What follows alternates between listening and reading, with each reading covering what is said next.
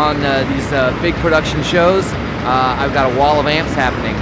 12 uh, cabinets. Each cabinet is an 810 cabinet, and it's basically our entire backdrop extending out from the drum set. The touring's going great with them. We got them in some great set carts, so they travel well, and uh, they haven't missed a beat. I've used the same two for most of the tour, uh, leaned on them, and I haven't had a single problem with them. What is it that uh, says something about you, John? It's a visual representation, and I thought about it, and I'm like, flames and skulls. So uh, grab the computer, worked it up, sent it to them. They put it on the cabinets exactly like I sent it to them. Their stages are big.